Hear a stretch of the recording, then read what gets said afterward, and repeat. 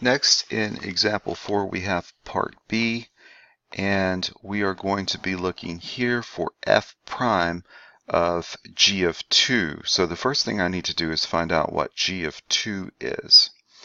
So looking at my graph, again, g is going to be the cubic, and g of 2, that was the point that we just used. That was 2, 5. So it looks like the y value is going to be 5.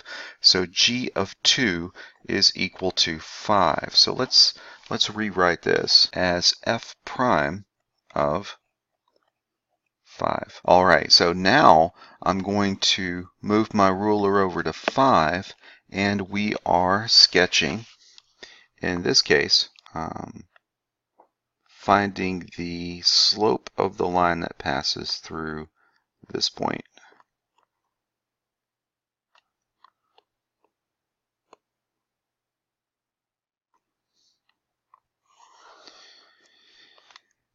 Ah, but that's a sharp corner.